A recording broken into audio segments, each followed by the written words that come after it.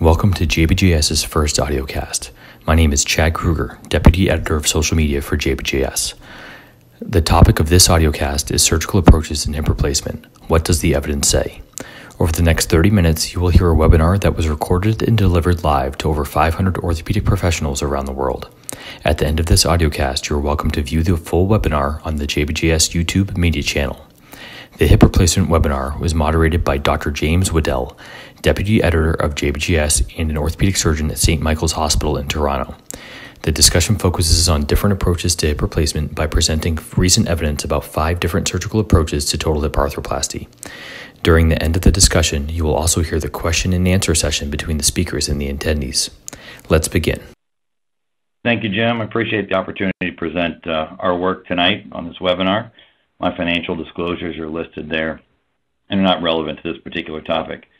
I also want to thank our partnering institutions and my co-authors in this, those uh, authors from Ortho Carolina and Rothman Institute who were instrumental in uh, uh, providing this data and uh, that culminated in the work that you'll see here. So I think we would all agree that the direct anterior approach has been marketed uh, pretty intensely. There's certainly been over the last five to 10 years a surge in patient awareness and demand rapid surge in adoption. And there's been reports of numerous benefits. Uh, there are documented limitations, including learning curve and challenging femoral exposure. And our question was really to assess are we introducing any potential risks with the proliferation of this new and innovative approach? I think one of the things we noted that really spurred the, uh, the study was that failure of modern cementless femoral implants is relatively rare until we started seeing it recently in some of our revision practices. And so we really thought a scientific inquiry should really be initiated by a thoughtful clinical observation, and we were seeing one, so we decided to undertake this study. And the study purpose was to determine whether failure mechanisms in total hip arthroplasty were related to surgical approach. So here's the uh, paper that will be discussed. And as, uh, as Jim mentioned, it's the risk factor, whether risk factors um, for uh, cementless total hip arthroplasty, femoral aseptic loosening were related to approach. So the methods, there were three high-volume academic centers, a retrospective review of almost 500 consecutive early revisions, and early means between the index arthroplasty and five years, and those that were performed between 2011 and 2014. The primary surgical approach, the time to revision, and the failure etiology were documented. There were some exclusions. In 13, the primary surgical approach was unknown. There was one femoral revision for bisphosphonate stress fracture, and then 97 failures were excluded because they were metal modular neck corrosion and adverse local tissue reaction, and obviously negated being included in failure mechanisms uh, from surgical approach. So that left us with a final sample of 342 total arthroplasties, 54% female, and the average age was about 62 years. You'll see there were some demographic differences. The average BMI, the direct anterior approach probably had a slight bias in being selected for thinner patients. They had a smaller BMI than the other two groups, which was statistically significant. In the Dorr classification system, interestingly, those in the direct lateral approach had a greater percentage of type uh, A bone. And then finally, the average time to revision, direct anterior approach, slight difference with uh, earlier time to revision than the other two groups. So when we look at this pie chart, looking at the proportion of revisions by primary surgical approach, you'll see that the red is the direct anterior, the blue direct lateral, and the green posterior approach. So not too dissimilar and no difference really between the two. When we look at the failure mechanisms and break it down by proportion of those particular mechanisms we're looking at, I want to call particular attention to those outlined there, which was femoral periprosthetic fracture, femoral component aseptic loosening, acetabular fracture, acetabular loosening, and instability. We obviously are not going to discuss the uh, infection. It's probably not related to surgical approach. we certainly didn't find any differences in this study. And then uh, ceramic fracture was such a small proportion, we wanted to focus on those uh, circled above. So when you look at early periprosthetic fracture or femoral component loosening, there were 112 of those. And when you broke those out by surgical approach, you will see that 51% of those failures were in the direct anterior approach, and 35% were in the direct lateral approach, and a smaller percentage in the posterior approach. And that was statistically significant across all three groups. Interesting when you look at acetabular component loosening, We could not find, or fracture, we could not find a difference between the groups because it was insufficiently powered. But You'll see there were some differences with the direct lateral approach having a smaller percentage of acetabular failure.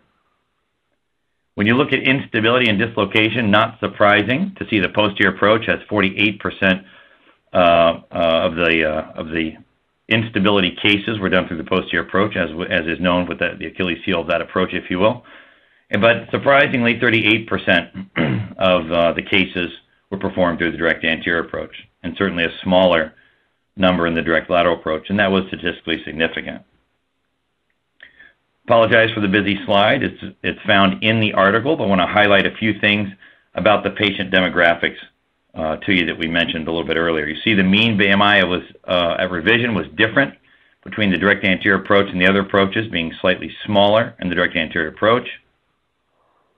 You'll see that the Dorr classification system was different, as mentioned earlier, with a greater uh, percentage of patients having a Dorr class A in the direct lateral approach. And then finally, femoral stem type, which was a little bit of note, as you would imagine, looking at the different types of stems, there was a greater percentage of the tapered uh, wedge stems used in the direct lateral approach, which was statistically significant as well. When we look at the proportions of the mechanisms of early failure by primary surgical approach. We'll highlight those that were significant. When we looked at early femoral periprosthetic fracture or loosening together, it became significant that a greater percentage of those revised were through the direct anterior approach. However, the significance was really driven by aseptic loosening, not so much by periprosthetic fracture, although you can see the numbers there, certainly greater, but did not reach statistical significance. Interesting when you look at acetabular periprosthetic fracture loosening, greater incidence of loosening, albeit in very small numbers, but a greater incidence of loosening seen in the posterior approach uh, group. and then finally, when looking at instability, the direct anterior and the posterior approach were nearly equivalent, but both had greater incidence within those within that subgroup compared to the direct uh, lateral approach, which uh, fewer were revised uh, through that approach. So certainly this study has limitations. I think those are rather obvious. It's a retrospective review. It doesn't take into account regional or geographical variation that can, that can occur with the direct anterior approach. And certainly it didn't take into account the learning curve potential. And finally, the biggest limitation is there was a lack of a denominator. So the study's purpose is not to describe incidence or percentage, but rather just to describe those findings seen in three large revision centers. The study strength is it's a multi-center data set, large study numbers. It's accepted methodology for a number of different type of study uh, outcomes that use this methodology. It's consistent with clinical observation and consistent with previous reports. So in conclusion of this study, risk factors for femoral failure were the direct anterior and direct lateral, and the risk factors for instability were direct anterior and posterior with the numbers available but only the direct anterior approach was associated with both instability and femoral failure. And so it calls for further studies and registries, one of which we'll look at later on in the presentation. The Stanford study was published near the same time of, uh, of ours in the Journal of Arthroplasty.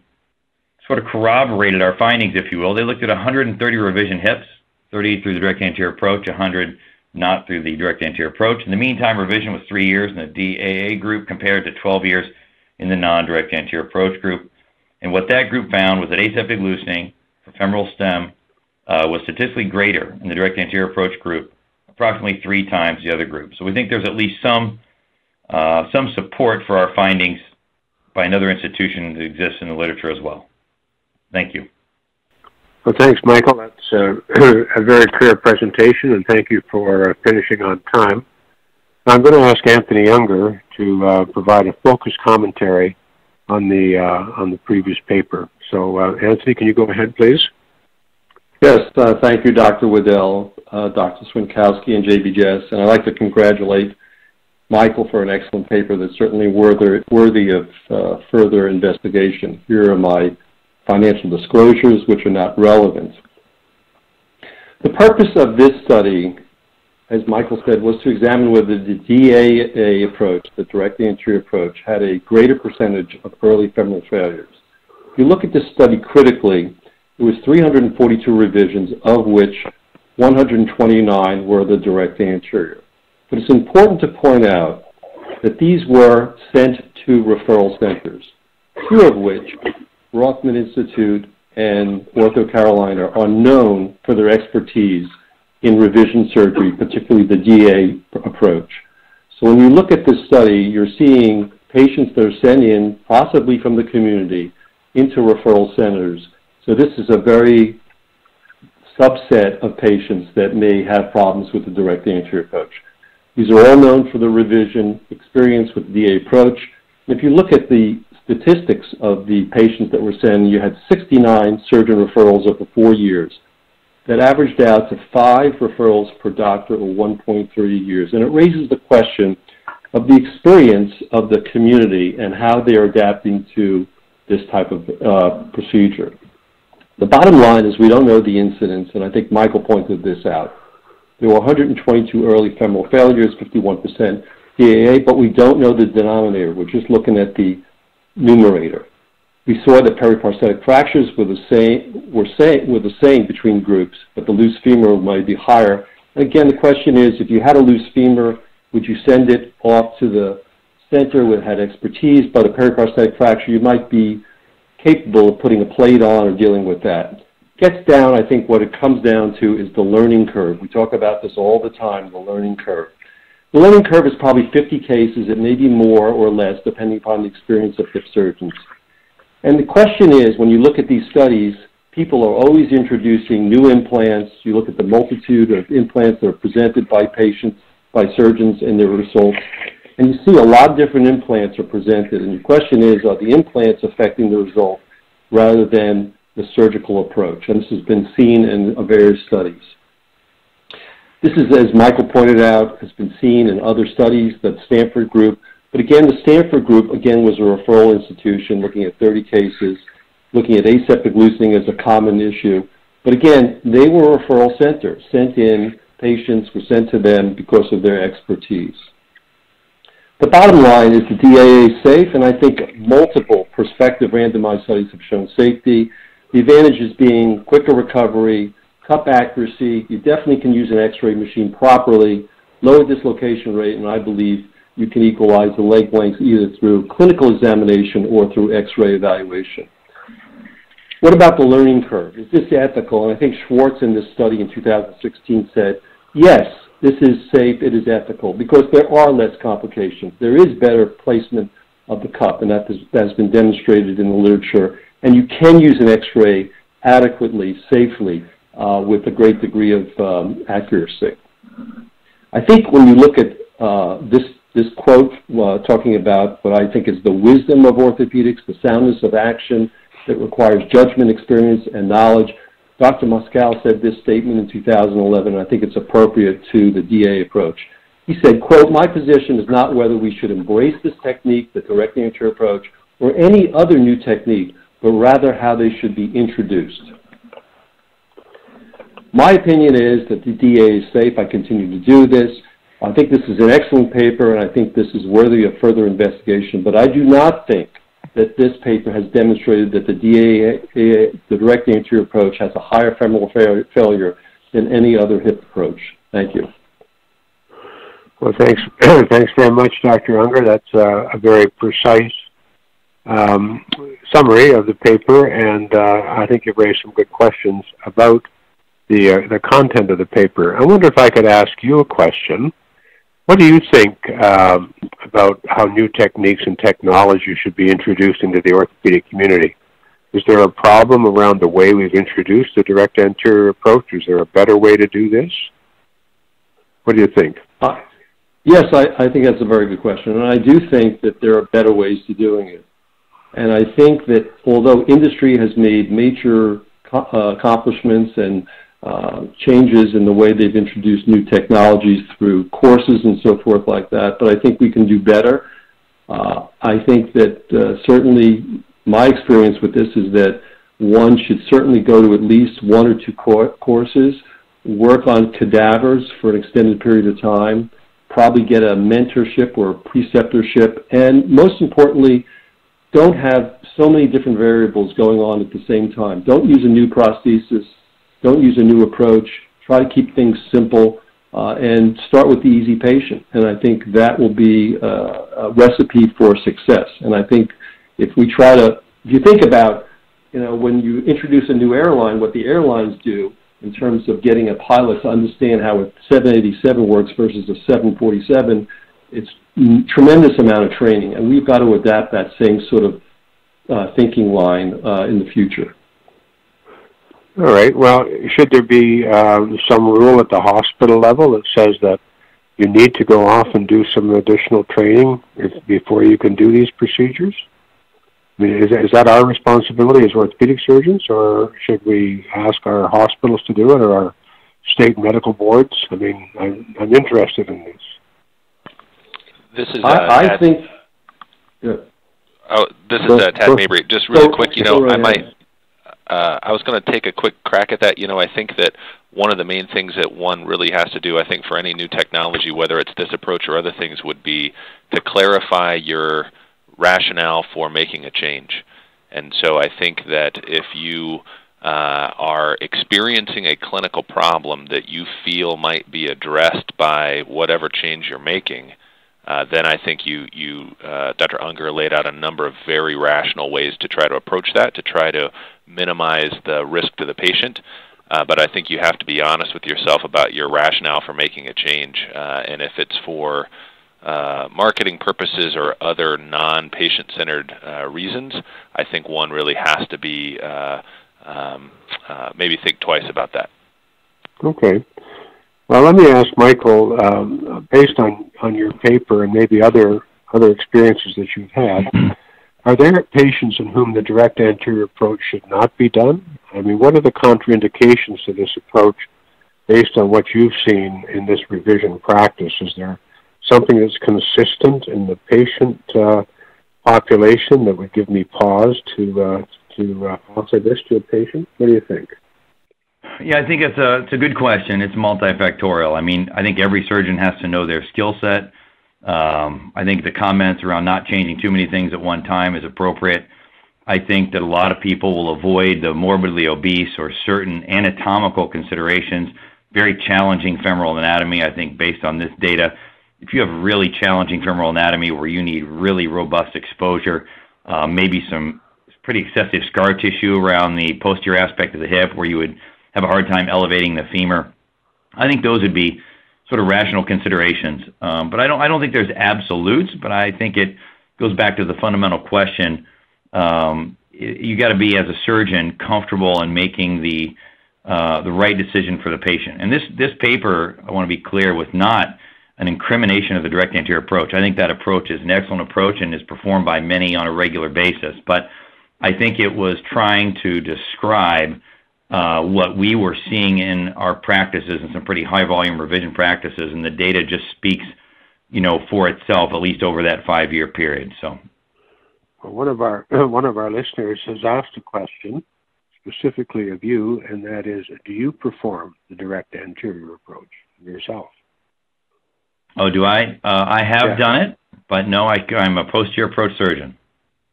Okay. Routinely. So tried it, tried it, and didn't like it.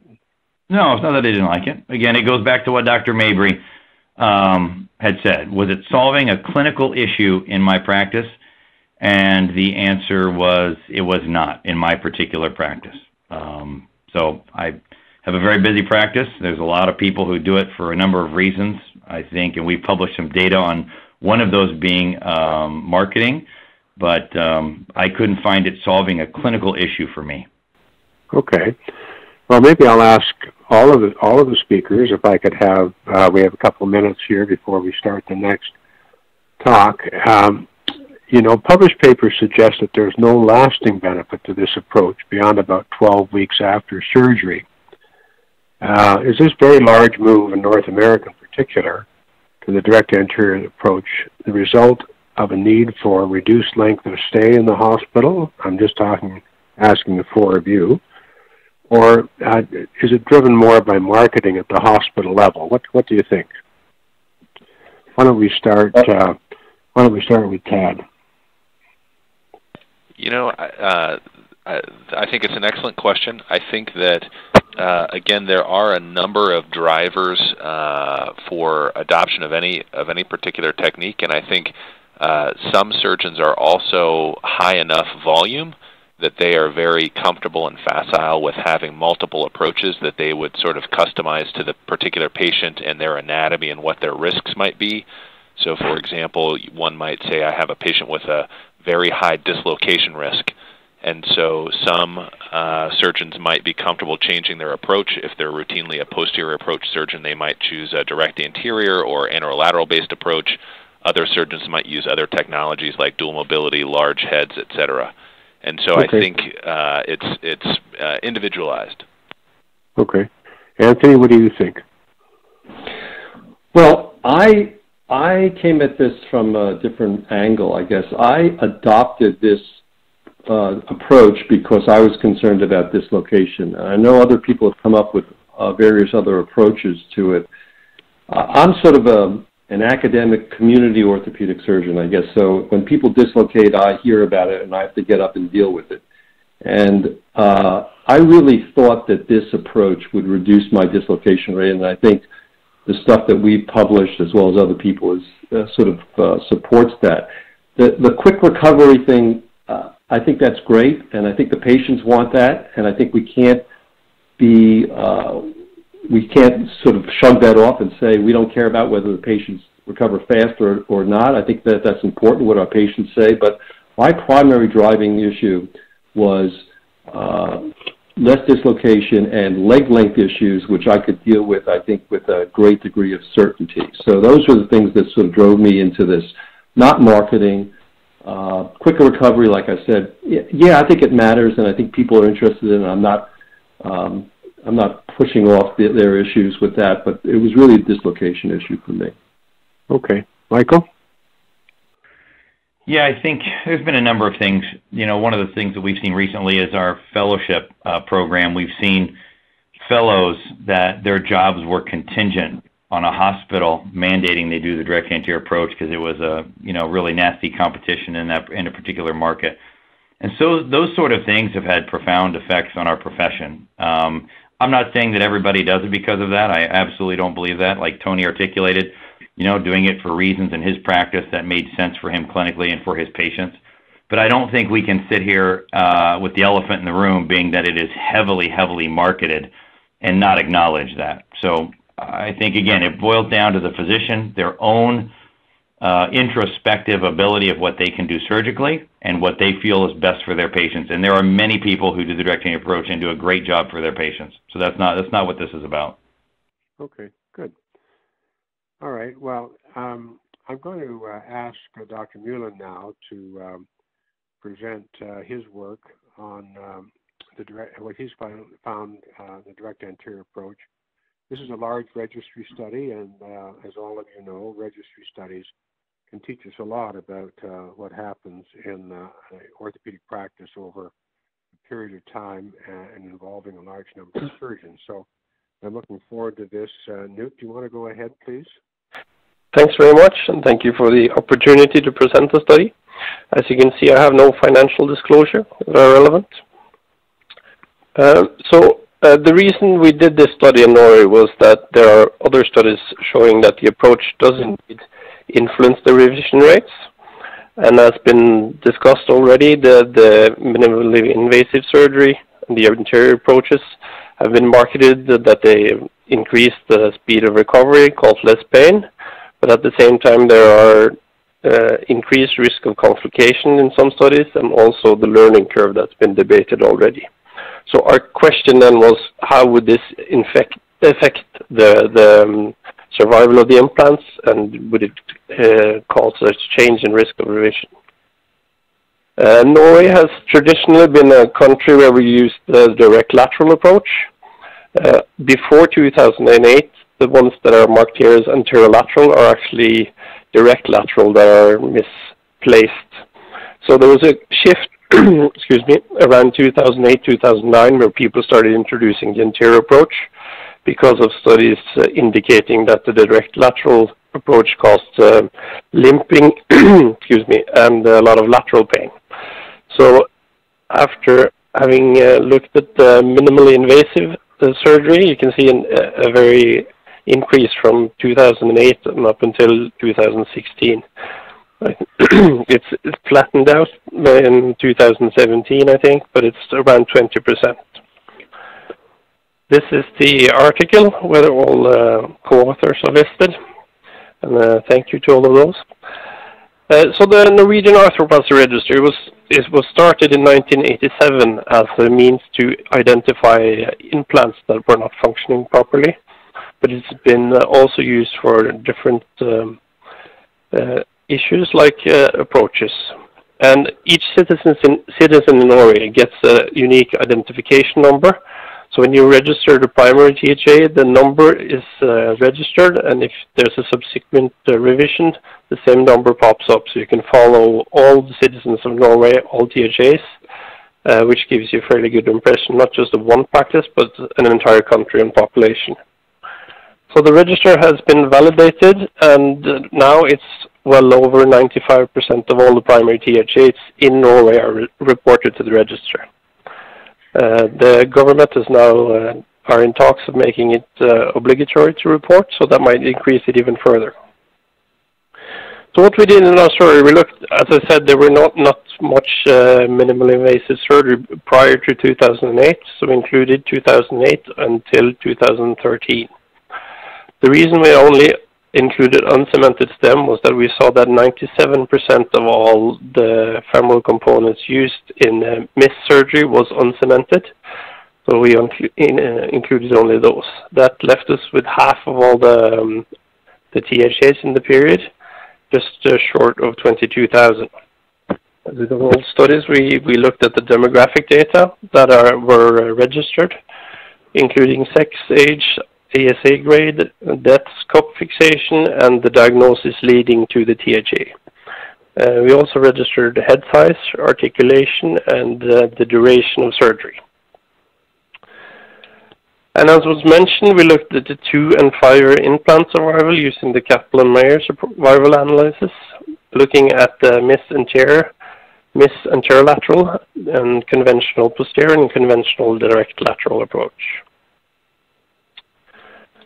Uh, we used the Cox proportional hazard model uh, to uh, evaluate the relative risk of revision, adjusting for all the factors I mentioned with the age, sex, primary diagnosis, ASA grade, head size, cup fixation, type of articulation, and we grouped the, dura the duration of surgery into three categories. And we looked at the endpoints any cause, where we used all four uh, approaches and compared them to each other for infection, dislocation, femoral fracture, septic loosening, and any other cause, we combined the, uh, the MIS approaches to get sufficient number for a proper analysis. Uh, it's been mentioned that when you introduce an approach, you might select your patient, so it could be a case mix bias. So to look at this and thinking that uh, you will use the MIS for the easiest patient, we try to do sensitivity anal analysis, including only the patients younger than 75 years of age, ASA grade 1 and 2, only those with head size equal to or less than 32 millimeters, and only those with the diagnosis of primary osteoarthritis as the cause of their THA. Also, the learning curve is a much talked about issue with the MIS surgery. So we tried to look if we could uh, see uh, any evidence of this in the register. So we, we excluded the first 50 done at each hospital. Uh, obviously, we do not know how many surgeons did the 50 first. It was one surgeon or 10, so it's a little uncertainty there. And we also checked different time periods within the five years to see if there was a change in the, um, revision rates. When we looked at uh, all the numbers, we had around 2,000 each of the MIS approaches, just short of 6,000 posterior approaches. And as I said, Norway has been a direct lateral country for many years, so just short of 12,000 THAs through the direct lateral approach. Apologies for busy slide. Um, as in the other studies, the, the the younger patients were operated via the posterior and direct lateral approach in uh, this time period. Uh, there were very few uncemented cups in the anterior lateral group. And uh, with the cause of THA, there were um, more of those that had other causes than primary osteoarthritis in the posterior and the direct lateral group. Further were head sizes. The direct lateral group had the smallest heads, to put it that way, the, um, and uh, there were a mix of the, the surface articulation, ceramics, poly, metal. No metal on metal were included. So we had a mean median follow-up of 4.3 years altogether, with the longest for the anterior and the direct lateral, 4.6 years anterior lateral was introduced later, the MIS version, so 3.3 years, and the posterior was 4.3 years. So the two and five year survival was uh, no significant difference between all four approaches. With the two year survival, 97% uh, or better for all approaches, and 96% or better for five year uh, survival. The relative risk for any cause, there were, as you can see, no significant difference between uh, all four approaches. Further, the relative risk of infection, we found that the direct lateral was twice gave twice the risk of being revised due to infection than the posterior or the MIS approaches. As I said, they were combined for this analysis. The um, dislocation rates, same as other studies, twice the risk with the posterior approach, with no difference between the direct lateral and the MIS approaches. For all the other causes we calculated, there were no difference. So the sensitivity, uh, when we checked for, for the case mix bias, there was no increased risk when we when we excluded all the uh, the, the ones I mentioned before there was still um, an increased risk of infection with the direct lateral approach and even higher risk of um, a revision due to dislocation via the posterior approach. Obviously, with excluding the larger heads, this this would be, uh, I think, what people would expect. We found no evidence of a learning curve in this study period. That could be due to, as I said, that the different surgeons or one surgeon did the 50 first cases. So a few points for the discussion. Uh, there's a weakness that we only have uncemented stems. There are several studies, especially in older women, indicating that they do better with cemented stems. So we don't know if these findings translate over to cemented stems. It's a short follow-up, all early revisions. However, if you think that it's the approach that caused the revision, you would probably see those early. So that could be caught anyway. And it's a registered uh, study, so we have no clinical data uh, saying how the patients do. On the other hand, it's a large number of TSH from a country, a large population, no single practice. And there are not that many studies looking on the MIS surgery, surgeries and revision. There are some, and some of those point in the same direction as ours. Uh, it's a worry that the direct lateral approach uh, leads to revision due to infection.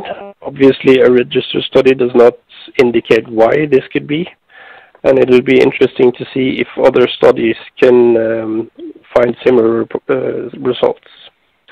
So our conclusion from what we looked at is that the introduction of the MIS surgery in THAs in Norway has not increased the revision rates or the risk of revision. Thank you very much. Th thanks very much. That's a, very good study, exhaustive study, looking at a large number of patients, and uh, I think uh, provides some food for thought. So I'm going to ask Tad Mabry from Mayo Clinic to give his uh, comment now on, on that paper. Tad, you want to go ahead? Thank you very much uh, for the opportunity to comment on this excellent paper uh, from our colleagues in Norway. As was mentioned, I thought it would be uh, helpful maybe to point out a little bit of uh, thoughts and uh, call out some specific details on the background and study rationale. Clearly, there's increasing use of so-called minimally invasive anterior and anterolateral approaches for total hip arthroplasty, which is true in our country and also true in Norway. And so the clinical question really is that are these MIS approaches associated with an increased risk of revision following primary total hip arthroplasty? As was noted, this is coming from the Norwegian Arthroplasty Register, which is just a phenomenal resource for all of us. It was looking at almost 22,000 surgeries, obviously all in a contemporary period. But as was noted, this is only looking at uncemented stems, and it sounds like that really represented only about half of the cases that were performed over that same time period. And so we really are unable to make um, conclusions about whether or not this these approaches are changing the overall revision rate because we're only looking at whether or not it changes the revision rate in cases with uncemented stems. And again, there's some exclusion of the so-called learning curve, and one might argue that it would be very important if we're looking at complications to look at all cases that were performed. It's hard to understand why we would give a pass to any given procedure uh, for the learning curve if we're looking at complications. There was an excellent job using Cox proportional hazard models of trying to account for a number of known, specific, and clinically important variables. As was noted, most of these cases were performed through the direct lateral approach, and you can see the breakdown as noted. A smaller number of cases were through these minimally invasive anterior or anterolateral approaches. As was also noted, there was no difference in the risk of revision, again, only looking at uncemented stems for all-cause revision femur fracture, aseptic loosening, or those cases with unknown etiology driving that revision. There was a increased risk of revision for dislocation from the posterior approach, but I would add that the risk was only less than 1.5% at five years. So while the risk was higher with the posterior approach, the absolute risk was still relatively low. Similar findings with the direct lateral approach and infection. Although the risk was certainly higher in this approach, that overall risk is still less than 1.5% at five years. A number of study strengths, and again, the authors should all be commended for this excellent work. There was a large sample size from a validated registry. It accounts for multiple clinically important variables. It gives us all a better understanding of the pros and cons of the main surgical approaches in use today. But I think it's fair to say that some questions remain, and I think one of the outstanding things is that this group could answer some of those questions. I think question number one really relates to the expanded role of uncemented fixation.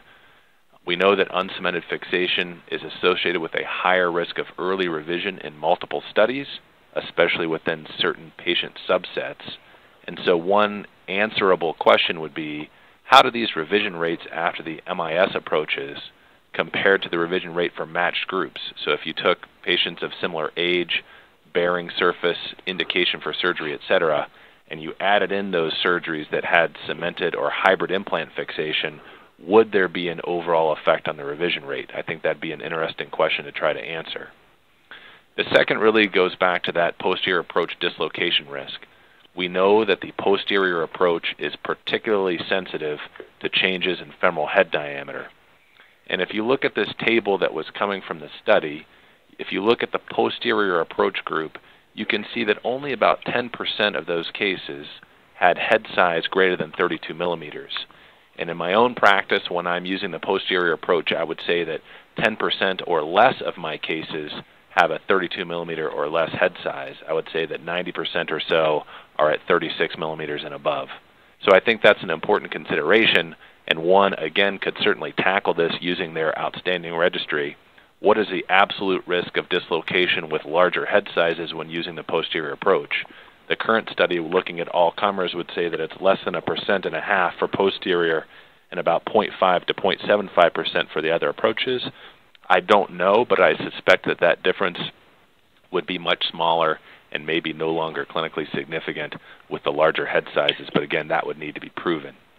So I think that in in my mind, I think some of the conclusions would be that we're all trying to figure out what is the ideal surgical approach. And I think it would be a few things. I think it would allow one to tackle a wide spectrum of hip conditions. I think the ideal approach would have the minimum number of contraindications. I think it would be appropriate if it would support essentially unlimited implant options that you could place into correct position. I think you would want to minimize both short and long-term complications for the patient. And as always, you would want to promote early functional recovery. I think further study would be needed to better define the specific conditions and patient populations that might be best suited to any one of the current surgical approaches. Thank you very much. Well, thanks very much for that, Tad. Um, I want to thank everyone for the great insights uh, that they brought to this uh, particular issue, which, uh, as we all know, is very controversial now for the reasons that have been outlined. Well, I'd like to uh, I'd like to turn now to um, some of the uh, questions that the audience have uh, have submitted. Um, let's start with one fairly basic question, and I'll turn this open to the whole panel. Uh, is there a difference in when you allow your patients to start weight bearing, depending on the surgical approach? Let's not talk about the implant or the patient, but just the approach itself. Does that influence when you let them start weight bearing? Uh, let's start with Michael. No, I let them all weight bear as tolerated immediately, even when I did okay. the direct anterior approach. Both, whatever approach, they can weight bear as tolerated. Okay. Anybody else uh, have have a different approach? Does uh, everybody let them weight bear? Yeah. What do you think? I let them weight bear uh, there's no difference in terms of how the approach influences weight bearing. Okay, good. Uh, Dr. Mullen, do you do the anterior approach? I do the anterior approach, yeah, for 90% of the primary, yeah. Okay. And uh, no difference? No difference. Always full weight bearing and no restriction in movements. Okay, good. All right.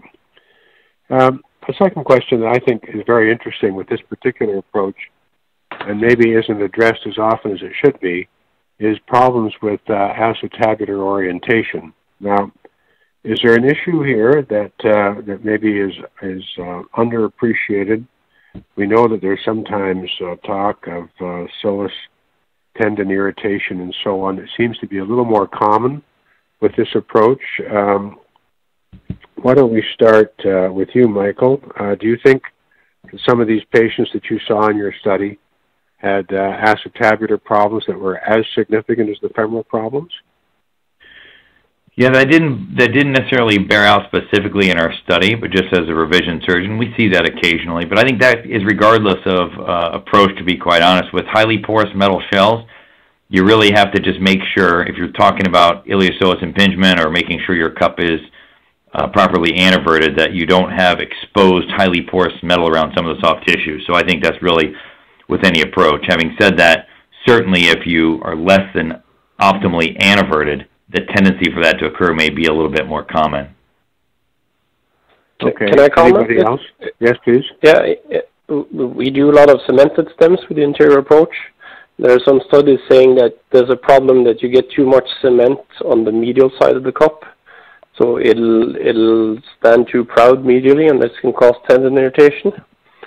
Um, but I think it's down to technique. If you get it sufficiently in medially and an even cement mantle around the whole cup, it's not as much a problem as perhaps when you start out and not getting the cup correctly. Okay. Uh, I'm interested in that because uh, there's a, a, tendency in North America, of course, to use cementless stems and cementless cups.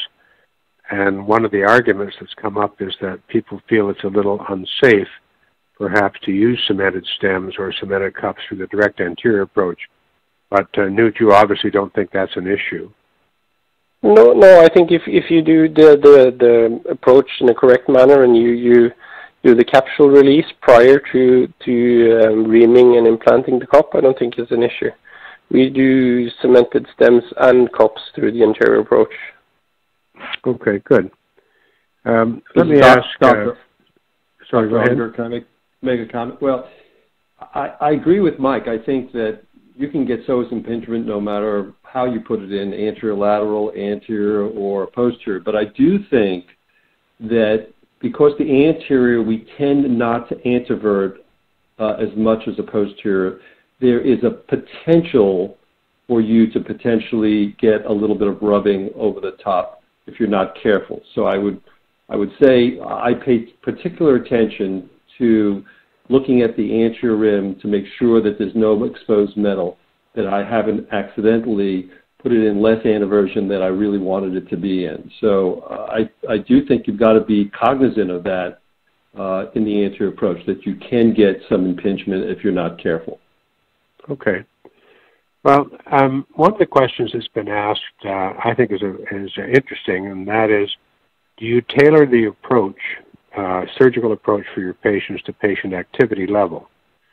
Uh, do the more active patients, uh, the ones that are maybe a little more physically active, still working or playing sports, are those the ones you tend to use the anterior approach for because you think it's more stable? And maybe use posterior approach for the older, less active patients uh, for whatever reason. What What do you think about that? Let's hear from the, the all four of you in that regard. Uh, are, are you selecting the patients for these different approaches based on activity level, or or not? Why don't we start with Michael? Yeah, I don't think this is a. Uh, I think there's only a, you know, subgroup of, of surgeons who are really selecting out based on certain factors. I think the majority of direct anterior approach surgeons do it in the majority of their cases, unless there's really some anatomical extenuating circumstance. Uh, I would venture to say the majority are doing it in greater than 90% of their cases. and same thing for posterior approach surgeons probably right. even more, you know, 95%. So I, I right. and secondly, I don't think it's activity related. We don't let, well, regardless of the approach, we let them go back as fast as they can. I think the Mayo Clinic data that has recently been published, or it's not published, at least, at least been presented, showing the time of difference of recoveries on average about four days different, would show you that you can let either approach recover pretty quickly. Okay. Anybody else have a, uh, a contrary opinion? This is, uh, this is this is Tad. I was I was just going to say I think from a uh, you know personally I think the uh, I do probably uh, 85% or so uh, posterior approach, and the remainder would be direct lateral. And I myself look at it purely from a stability standpoint. So patients that I think are at increased risk for instability problems, whether it's from a cognitive issue, neurologic issue, uh, muscle problem, any of the sort of major risk factors for instability, I myself right. might might favor either direct lateral approach for that patient or uh, or and or using uh, some sort of adjunctive technology like dual mobility. It really wouldn't uh, myself. Nothing really changes again uh, to the other uh, physician's point uh, in terms of anticipated end stage activity. It's really my in my own hands. I, I'm just thinking about stability. Okay. Well, there's there's two very similar questions here regarding range of motion or um, uh, hip restrictions depending on the approach. So uh, if you use a uh, posterior approach, um, uh, do you have specific hip restrictions for those patients, or do you use specific restrictions for any any of your patients? Um, uh, Anthony, why don't you uh, why don't you answer that? well, for the for the anterior approach, I place very few restrictions on on patients in the first four to six weeks, almost none. Uh, there's some twisting restrictions. I wouldn't let them go out and play golf for two weeks and twist on their hip. Um, I still do occasional posterior approach. I would say 99% of my primaries are anterior. Occasionally, I will do revisions posterior if I think they're very complicated, and I do restrict them and and place a lot of restrictions on them. Okay. Uh, anybody else? Uh, specific hip restrictions now, or do you let all the patients get up and walk on their first post-operative day? Or do you still use posterior uh, restrictions on posterior approach and abduction restrictions on anterolateral approaches with uh, bone or tendon work on the abductors? This is Mjaaland. Uh, I, I'd use restriction for posterior approach, but because I I'd use the posterior approach either for a revision or if there's any metal that needs to be removed before doing the approach. So that that'll be a special case, not not the standard THA. I'll always do that via the anterior approach, and okay. I have no restrictions then. Yeah, this is Michael Meneghini. For a posterior approach, we use we just have them avoid the crazy extremes um, of flexion and internal rotation. Outside of that, we have no restrictions on their activity and encourage them to get back to whatever they want to do as soon as they can. Okay. Well, what about with the direct anterior approach? Those of you who are doing it, have you uh, seen any problems with quadriceps function, either as a consequence of uh, partial or complete femoral nerve palsy, or as a result of uh, some work on the uh, quadriceps at the, uh, the insertion above the acetabulum. Any issues there with knee function or knee instability or uh, or anything like that, suggesting that uh, that there may be a problem? Um, I guess we, we keep sort of keep picking on you, Anthony, because you said 95% of your practice was direct anterior approach. But uh, any others want to weigh in on this? Uh, maybe Michael, did you I, see any of this in your revision uh, patients? I think um, Tony's probably the best one to answer it. To be honest yeah. with you, with all direct anterior okay. approaches. I, I mean, I, I think this is this is Dr. Unger again. Um, I think it's it's a theoretical advantage, and I think we're all aware of the fact that the femoral nerve is is I would say out of yeah. bounds uh, in the anterior approach, uh, but obviously it could be injured. I've never had one. I've never seen one. Uh, that doesn't mean that it happens. It doesn't. I'm sure it happens. Um, sure. So I, I think that you know it's like the sciatic nerve. I mean, I I would say you probably get the sciatic nerve more than you do the anterior approach yeah. affecting the femoral nerve. That would be my guess, but I don't think anybody's really looked at that yet. Okay. Okay. Uh, uh, this is Mjaaland again. Yeah. Uh, yeah.